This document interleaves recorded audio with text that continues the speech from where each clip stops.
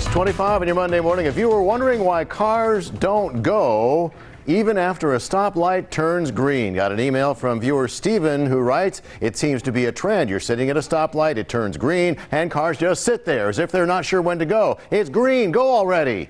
Well, Steven, I hate to break it to you, and I think a lot of viewers are chiming in right here. My guess is that those drivers are absolutely sure when it's time to go. It's whenever they're finished whatever they're doing on their phone.